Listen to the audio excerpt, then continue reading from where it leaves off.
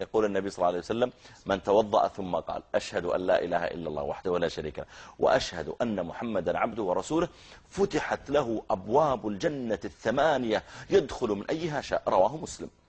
يا أخي أنا لما أعلمك وأعلمك وأعلم الثالث والرابع وأبدأ أنشرها أو أكتبها وأعلقها عندي في المدرسة ولا في الجامعة ولا, ولا في المسجد ولا في غيره ويبدأ الناس يفعلونها وأعلمه زوجتي أبنائي أمي أبي إخواني أخواتي. لما أنشر مثل هذه السنة كل من عملها يكون لي مثل أجره أليس كذلك؟ كما قال عليه الصلاة والسلام من دعا